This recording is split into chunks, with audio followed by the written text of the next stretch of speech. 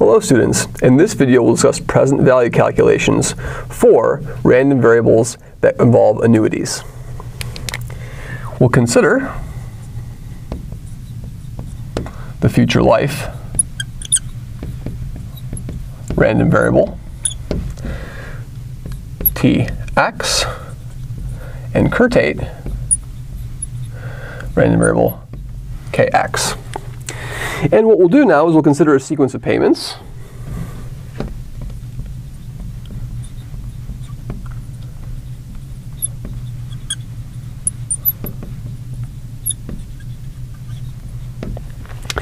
on this number line. So what we'll do is we'll assume that you will receive $1 every year at the beginning of every year. Times 0, time 1, time 2, time 3, time 4, etc. You receive $1 at the beginning of every year if you've survived up to that point in time. So that's our sequence of payments. And so to understand how this, this random variable works, we'll do the following. We recall that if we have a double dot n, what this is, is this is 1 minus nu to the n over d, where nu is the discount, where nu is 1 plus i, the effective annual rate of interest of negative 1, and d is defined by d equals iv. That's our discount factor.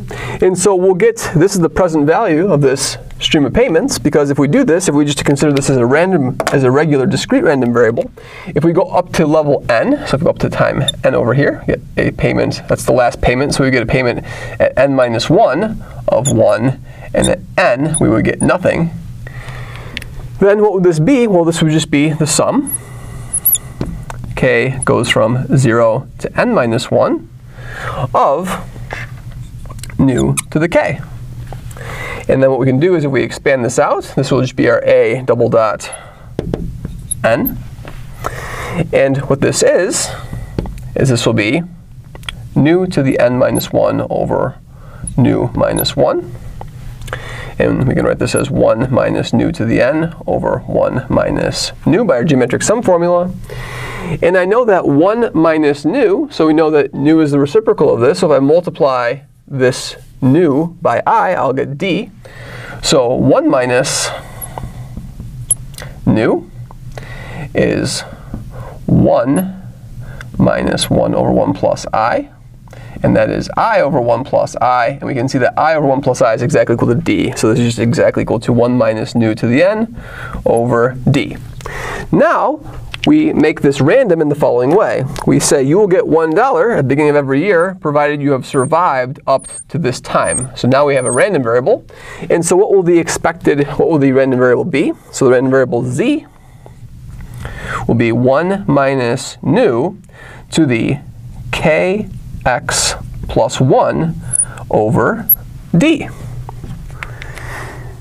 Because I'll get paid at the end of every, I'll get paid as long as I've survived up to that point. So that's our random variable, that's the curtate function. And now we can put the expected present value of this. So the expected present value of this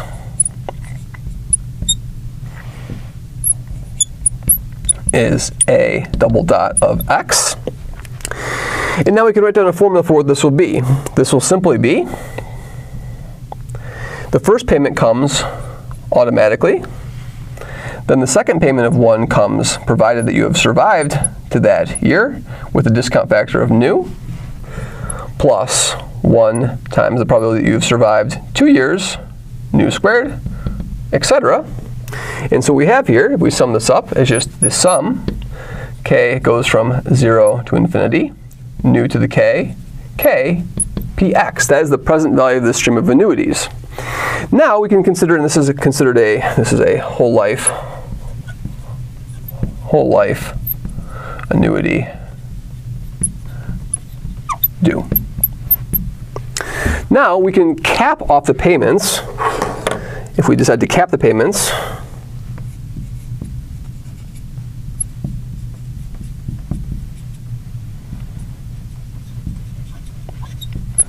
at death or a finite time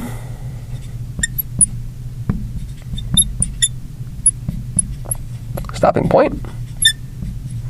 Let's call that stopping point n. So the payments will stop at that point in time n. So then what we'll have is the following number line.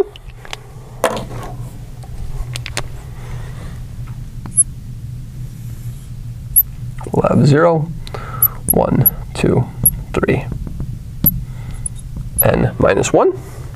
And so what we'll get here is we'll have a 1, 1, 1, 1, 1 if you survive. And then after this point at time n, nothing happens after that point. If you survive to that point, you will just get your payments capped.